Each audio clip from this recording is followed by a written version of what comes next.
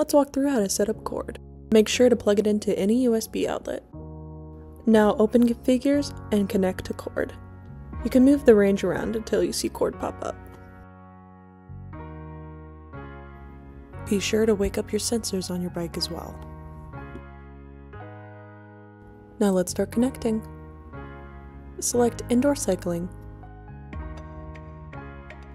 Then select the Scan button. Be sure to slide the range all the way up to ensure your devices can connect. Now select Scan ANT+ to search for your ANT+ sensors. As sensors pop up, you may not want to connect to them. Select Ignore and then scan for ANT+ again until your desired sensor pops up.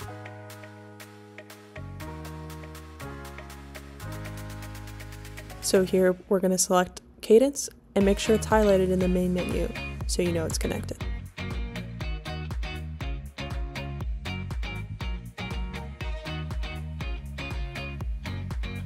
You'll soon see that we have four sensors connected. This is arguably the best feature of CÔRD as it allows you to have more than two connections to your Apple TV. Once you're ready, select the Save button in the lower right hand corner. Now let's set up heartbeats on your Apple Watch. Be sure to have the Heartbeats app downloaded onto your Apple Watch and hold it near CÔRD while connecting. Select Activate Heartbeats and then go to Devices.